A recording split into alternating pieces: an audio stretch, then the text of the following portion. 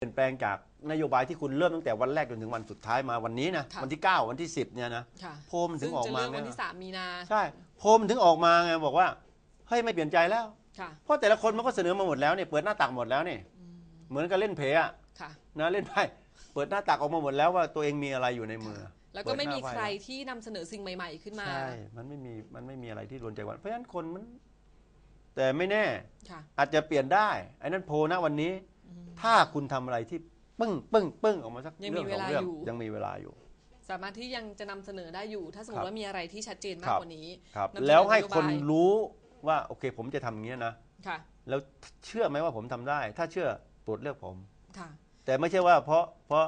เพราะผมบอกว่าผมเป็นอย่างนี้แล้วโปรดเลือกผมนะต้องเอาว่าผมเป็นอย่างนี้ประกอบกับผมจะทำอย่างนี้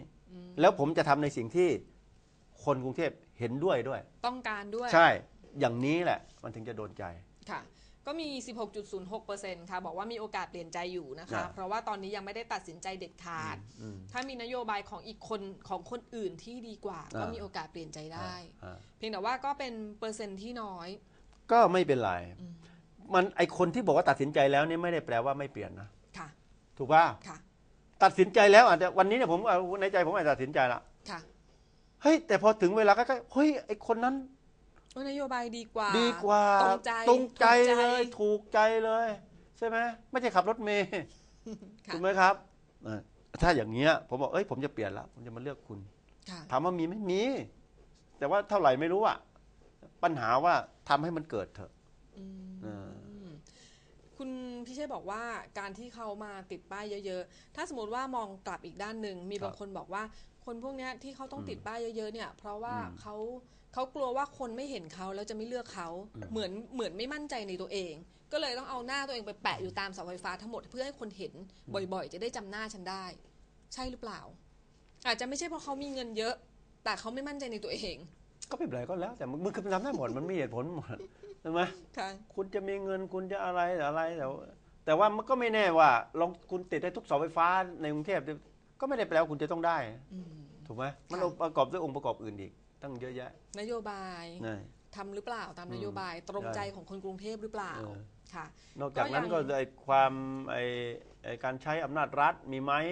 ใช่ไหมการโกงมีไหมอ่าการใช้อย่างเช่นเนี่ยสมมติว่าถ้าโพลนี่ถูกจ้างจริงเนี่ยค่ะ เห็นไหมก็แสดงว่าคุณเนี่ยก็ใช้สถาบันการศึกษา คุณซื้อสถาบันการศึกษา และไอสถาบันนั้นก็ขายตัวใช่ไหมค่ะ ได้ผลประโยชน์ จากการที่ไปรับจ้างกระทรวงมหาดไทยถูกไหมค่ะไอสวนสัตว์อะไรนั่นน่ะ ถูกไหมค่ะ เออกี่ร้อยล้านค่ะที่บอกอะค่ะ นะครับ แล้วถ้าอย่างเงี้ยก็แปลว่าคุณก็โกงคุณก็ใช้วิธีการ เพื่อให้ได้คะแนนเสียงมาตั้งแต่ก่อนลงคะแนนแล้ว ค่ะ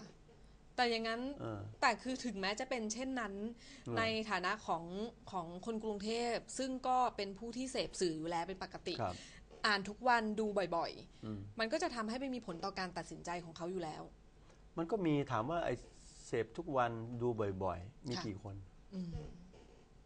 คือเราเราเราเราอย่าไปเหมารวมว่าคนกรุงเทพเนี่ยเขาอ่านหนังสือสื่อหรืออ่านข่าวติดตามแล้วเชื่อข่าวหมด ทุกคนนะค่ะเออแล้วก็เชื่อตามไม่ใช่นะ อืมไม่ใช่เงินหนึ่งมันมีส่วนหนึ่งที่ติดตามข่าว และไอ้ส่วนหนึ่งติดตามแบบประเภท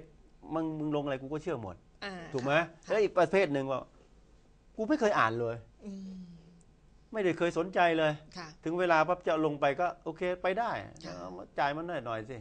ห้าร้อยก็อีกส่วนหนึ่ง เออก็อีกส่วนหนึ่งค่ะ ถูกไหมหรือไม่ก็โอเคเป็นไปตามกระแสพักพวกบอกให้ไปเลือกตรงนี้กันหน่อย ถูกไหมครับ ค่ะ มันก็ก็การเลือกตั้งในประเทศไทยอะค่ะ เออแต่สำหรับคุณพิเชษก็มองว่า นขมันอยู่แล้ว คนกรุงเทพมีวิจารณญาณในการที่จะตัดสินใจ ถึงแม้ว่าจะมีการมาจ้างสถาบันการศึกษาอืม ทำสื่อเพื่อที่จะชี้นอืมำแต่คนกรุงเทพก็ยังมีวิจารณญาณเป็นของตนเองอยู่ อืมใช่ไหก็มคะ ก็ก็คือคือเราพูดอย่างนี้อย่าไปใช้คำว่าคนกรุงเทพค่ะ คือมันไม่มีหรอก มันก็มันก็มีอะนะครับของคนบางส่วน ไม่ว่าคนกรุงเทพหรือไม่กรุงเทพคนต่างจังหวัดก็เหมือนกันค่ะ นะครับ ที่มีวิจารณญาณเนี่ยมันก็ขึ้นอยู่กับคน ค่ะ ถูกไหมนี่ถ้าคนติดตามข่าว อย่างมีวิชาไม่ใช่มีอวิชามีความรู้ติดตามอย่างมีเหตุมีผลนะครับ วิเคราะห์ได้ ตัดสินใจเองได้ เขาก็รู้ว่าอะไรเป็นอะไร อืม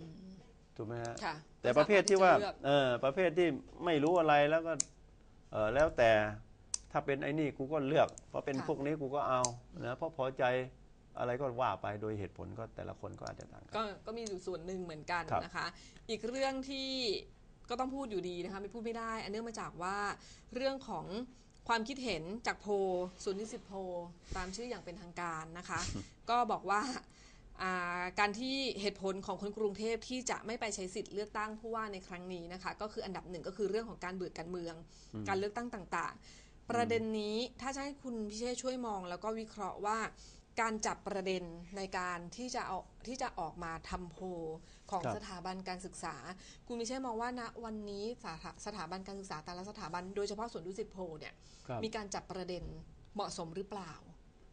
ในเด็นแง่ของการที่จะสร้างทัศนะสร้างวิสัยทัศน์ของคนที่จะให้เกิดพัฒนาการทางสติปัญญา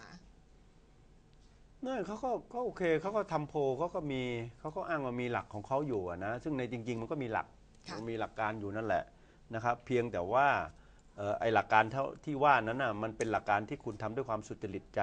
หรือเปล่า หรือมีผลประโยชน์หรือเปล่าอยู่ตรงนั้นเองนะครับ แต่ว่าแน่นอนในคนที่ไม่เอ่อมีมีคนจำนวนหนึ่ง บอกว่าไม่ไม่อยากจะไปเลือกตั้ง เพราะเบื่อการเมืองไอเนี้ยมันเป็นเรื่องปกติค่ะคุณพัชชา ผมคิดว่าไม่ทำโพลมันก็มีอยู่แล้ว รู้อยู่แล้วก็รู้กันอยู่เพแล้วราะว่าทุกครั้งออกมามันก็ประมาณ 60%บวกลบค่ะใช่ไหมครับ ไม่ว่าจะเลือกอะไร เพราะฉะนั้นครั้งนี้ก็เหมือนกัน คุณไม่จำเป็นต้องมาบอกแล้วสำหรับผมเองผมก็ไม่ได้ไปสื่อใส่ใจสักเท่าไหร่หรอกว่าค่ะคุณไม่มาเลือกเพราะอะไร แต่เพราะอย่างไรก็ตามเนี่ย มันก็จะมีคนจำนวนหนึ่งไม่มาเลือก โดยประมาณ 40%เป็นนะคปรับกติเป็นทุปๆกติครั้งของการทุกๆมีครั้กางรเลือกตั้ง ใช่ ด้วยเหตุผลหลายประการ อันที่หนึ่งนะไอคนที่มีชื่ออยู่แต่ไม่ไม่ได้อยู่ในกรุงเทพ เช่นไปทำงานอยู่ต่างจังหวัด แต่ทะเบียนบ้านอยู่ที่นี่ใช่ไหมครับ ค่ะก็เรื่องอะไรจะลงมาอืมมาเลือกใช่ไหมครับค่ะ อ่าอันนั้นนั้นประเภทหนึ่งซึ่งจำนวนเท่าไหร่เราก็ไม่รู้ นอกจากคุณไปทำโพลหรือว่าคุณไปเช็คตรวจสอบไปตรงเก็บนี้ข้อมูลอีกเออทีไปเก็บข้อมูลมานั่นค่ะโอเคนะอันที่สองนะครับ คนไทยจำนวนหนึ่งนะครับ แล้วไม่ว่ากรุงเทพหรือไม่กรุงเทพแหละเหมือนกันก็คือว่ามันไม่ใช่เรื่องของกูไม่เกี่ยว ค่ะ ไม่ได้สนใจ จะเลือกไปก็ไม่มีผลนะเลือกใครก็เหมือนกันนั้นเอาตังค์ไว้ก่อนดีกว่า ค่ะหรือเลือกใครก็เหมือนกันน้อยไม่สนใจไม่เลือกใครจะมาก็มาช่างมัน นี่ก็มีอีกจำนวนหนึ่งค่ะ ถูกไหมครับ สุดท้ายค่ะ ก่อนอ่าที่จะปิดเบรกนี้นะคะ คุณพิเชษฐ์อยากจะบอกคนกรุงเทพในฐานะที่เป็นคนกรุงเทพเหมือนกัน แล้วก็มีสิทธิ์ที่จะเลือกตั้งผู้ว่ากรุไม่งมีเทพสิมทหาธิ์นคผมรไม่มีสิทธิ์ไม่มีสิทธิ์เหรอคะใช่ผมอยู่เป็ปัตนตาบ้านผมนีอยู่อยู่โคราชอ๋ออยู่โคราใช่ชค่ะ ในฐานะที่เป็นคนกรุงเทพบ้านอยู่อ่ากรุงเทพอ่าจะบอกกับคนกรุงเทพเลือกตั้งผู้ว่าวันที่อ่าสามมีนาจะยังไงดีคะจะยังไงแปลควรว่าจะมีการตัดสินใจยังไงดี ดูนโยผมบาคงยคงดูไม่อะไรต้องบ้างไม่ต้อดีงบอกหรอกผมคิดว่าแต่ละคนก็มีเหตุผลของเขาอยู่แล้วค่ะนะครับเอ่อ ผมคงไม่ไปเรียกร้องคนผู้มีสิทธิ์ออกเสียงเลือกตั้ง เหมือนกับพระพุทธองค์เนี่ยไม่ได้เรียกร้องประชาชนนะค่ะแต่พระองค์เรียกร้องพระพุทธเจ้านี่เรียกร้องพระภิกษุค่ะเพราะพระภิกษุเนี่ยไปจาริกไปขออาหารไปบิณฑบาตไปขอเขาค่ะไม่ใช่เรียกร้องให้คุณมายกมือไหว้คุณถอดรองเท้า ถอดรองเท้าใส่บาตรไม่ต้องค่ะนะมีคนเคยถามพระอาจารย์ชยสาโลเป็นฝรั่งค่ะมาเอ่อว่าเอ่อรองเท้าสกปรกเนี่ยต้องถอดรองเท้าใส่บาตรไหมท่านบอกว่า ไม่เอาแต่อาหารพออืมจะถอดรองเท้าใส่บาตรบอกไม่ต้อง เอาแต่อาหาร อย่าใส่รองเท้ามาเอาทหารที่เอสอองเท้าเอค่ะอใช่ไหมเดี๋ยวจะคือความหมายคือถอดรองเท้าแล้วจะไปใส่บาตรค่ะเข้าเอใจอหรือถอดรองเท้าเพราะฉะนั้นใส่เนี่ยรองเท้าใส่บาตรเออใส่รองยังงก็ได้เต็มได้ที่ได้โอเคเพราะพระพุทธเจ้าเนี่ยเน้นที่ภิกษุไม่ใช่เน้นที่ประชาชนอืมเหมือนกัน ถ้าเป็นผมเนี่ยนะผมไม่เรียกร้องประชาชนค่ะ แต่ผมจะเน้นแล้วก็ผมจะเรียกร้องผู้สมัคร อืมคุณจะทำอะไรให้เขาพอใจที่จะมาเลือกตั้งคุณล่ะค่ะ อ่าสมมติว่าถ้าผมไม่เคยเลือกตั้งเลย แต่ว่าครั้งที่แล้วบ้านผมน้ำท่วมถึงถึงคอบ้านผมท่วมหัวเนี่ยค่ะนะวันนี้ผมก็อยากจะรู้เหมือนกันว่า ถ้าใครมาเป็นผู้ว่าเนี่ย น้ำบ้านผมจะท่วมไหมถ้าคุณบอกว่าเป็นเรื่องของรัฐบาลโอเค ผมก็รู้ว่าเป็นเรื่องรัฐบาลอืมนะครัไม่บใช่เรื่องของคุณ แต่แต่ถ้ามีผู้ว่าสักคนหนึ่งบอกว่า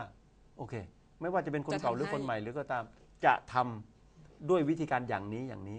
แล้วผมว่าเออ วิธีการอย่างที่คุณว่าเนี่ย ผมเห็นด้วยค่ะเป็นไปได้ น้ำบ้านผมแทนที่จะถึงหัว มันอาจจะถึงแค่ตาตุ่มถึงหน้าแข้งผมก็ดีใจอืมถูกไหมครับนี่แหละถ้าอย่างเงี้ยผมก็จะออกไปที่เลือกอยากจะตั้งถูกต้อง มันอยู่ตรงนี้ต่างหากค่ะไม่ต้องไปเรียกร้องประชาชนหรอกตีเอ่อจะอะไรเล่นดนตรีทั้งวงไพเราะกว่าร้องคนเดียว บ้าไม่ใช่ที่มามาเสนอกันทุกครั้งที่มีการเลือกตั้งเนี่ยนะค่ะ แล้วไม่ต้องไปบอกมากหรอกกทม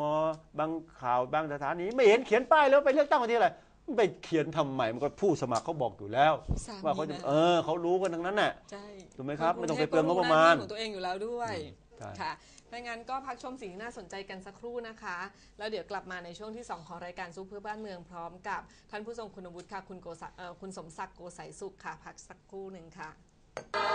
กลับเข้ามาสู่ช่วงที่ 2 ของรายการซูเพื่อบ้านเมืองค่ะขณะนี้ก็คุณสมศักดิ์โกสายสุขได้เดินทางมาเข้าร่วมรายการแล้วค่ะ สวัสดีค่ะคุณสมศักดิ์ค่ะครับ สวัสดีครับ สวัสดีครับ ค่ะ ประเด็นในช่วงแรกที่ได้พูดคุยไปค่ะ ก็เป็นเรื่องที่เกี่ยวกับทำสอบถามความคิดเห็นของคุณพิเชษฐ์เกี่ยวกับเรื่องของกรณีเลือกตั้งผู้ว่ากทมณวันนี้ครับที่เกิดขึ้น เรียนถามคุณสมศักดิ์เช่นกันมีความเห็นยังไงกับเรื่องของการเลือกตั้งผู้ว่าคะคุณพิเชษฐ์นำเสนอไปว่า ถ้าจะให้ความสนใจก็ควรที่จะไปดูที่ตัวนโยบายกับเรื่องที่ผู้ว่าผู้สมัครเลือกตั้งเนี่ย จะนำเสนอนโยบายอะไรแล้วก็จะทำอะไรให้เกิดขึ้นบ้าง อย่างเช่น ความชัดเจนในเรื่องของการแก้ปัญหาน้ำท่วม คืนคลองให้กับน้ำหรือว่าในเรื่องของการคืนบาทวิถีฟุตบาทให้กับประชาชน ที่จะต้องเดินทางสัญจรไปมาเพื่อให้เกิดความปลอดภัย คุณสมศักดิ์มองในแง่มุมไหนบ้างคะครับก็ที่จริงการเลือกตั้งผู้ว่าก็เป็นการเมืองระดับท้องถิ่นนะครับฉะนั้นก็เห็นคล้าย ๆกันนะกับ น้องพิเชษฐ์ว่าความจริงเราต้องดูว่าเราจะเลือกคนเข้ามา เราเราเดือดร้อนอะไร ในอำนาจหน้าที่ภารกิจของการปกครองท้องถิ่นที่มีอยู่ค่ะฉะนั้นมันก็ต้องดูที่คนและก็นโยบายว่าไอ้สิ่งที่เขาจะทำนั้นมันเอาเป้าหมายก่อนว่ามันมันแก้แก้ปัปัญญหาหาไหมความเดือดร้อนที่เราประสบชีวิตประจำวันที่มันย่ำแย่ลำบากลำบนเหลือเกินเนี่ยมีคนไหน ที่จะทำให้ได้บ้าง ค่ะฉะนั้นแต่สิ่งที่ผมเห็น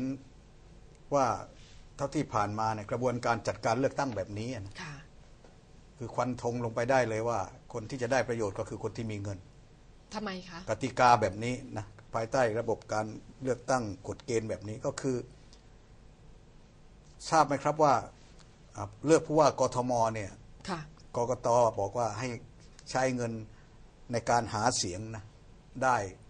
ไม่เกิน 49 ล้านบาท 49 ล้านบาท 49 ล้านบาทนะ สสเนี่ยล้านห้าแสนนะไม่ค่ะเกินตามกฎหมาย เงินเดือนผู้ว่ากทมเนี่ยรวมทั้งหมดแล้วเนี่ยประมาณ1นึ่งแสนสี่หมื่นบาท เท่าเท่ากับสพต่อเดือนค่ะรวมแล้วก็น่าจะ4ปีประมาณ6ล้านบาท สิ่งที่ประชาชนน่าจะตั้งคำถามว่า ตกลง คนที่จะต้องเสียสละเอาเงินไปทิ้ง 49 ล้านนี่ตามกฎหมายนะค่ะไอ้ที่เกินไปเนี่ยไม่ต้องพูดนะเพราะไม่รู้นับไม่ถูกอะค่ะนะเกินไม่เกินไม่รู้ แต่ว่าเอาตาม แล้วก็ไปรับเงินเดือนแค่6ล้านบาทแต่คนว่าเสียเลือสกละตั้งกันถึงขนาดนี้เหรอ49 ล้านบาทได้อ่ากติกาแบบนี้แสดงว่าคนไม่มีเงินคุณให้ดี คุณมีศีลธรรม มีคุณธรรมเนี่ย คุณอย่าลงไปจะเลยชนะได้ไหมอ่า มันเพราะว่าเวลาลงไปวันนี้ ดูโพลต่างๆ ก็ปั่นปั่นกันใครที่มีป้ายมากค่ะนะยังไม่ทันประกาศเลยทุกเสาไฟฟ้าจองหมดแล้วนะไอคนที่ไม่มีเงินก็ไม่มีป้ายค่ะตกลงมันเป็นการขายสินค้าหรือว่าเป็นลักษณะของการเลือกในระบบประชาธิปไตยที่บอกว่าเสมอภาคอ่าเรียกว่าอ่าเที่ยงธรรมสุจริตสุจริต เอาตีความว่าสุจริตก็แล้วกันค่ะถามว่าเที่ยงธรรมไหม กติกาแบบนี้มันจำกัดคนจนคนให้ดีคนคนคนที่ไม่โกงไม่ทุจริตไม่กระทำการอะไรที่คนที่โลภไม่มีโลภเงินมากสะสมมาแต่ก่อน ต่อให้ทำความดีทั้งชีวิต แต่ไม่มีเงิน ก็ไม่มีเงิน แล้วคนก็บอกว่าไม่มีเงินอย่าลงมาเลยไม่ได้ค่ะแล้วตกลงในขณะที่เรียกร้องผู้สมัคร ไม่ว่าระดับชาติหรือระดับท้องถิ่นเนี่ยให้คนนั้นเสียสละมีความคิดดีมีทีมงานดียังไงก็ลำบาก อันนี้ก็ชี้ให้เห็น ฉะนั้น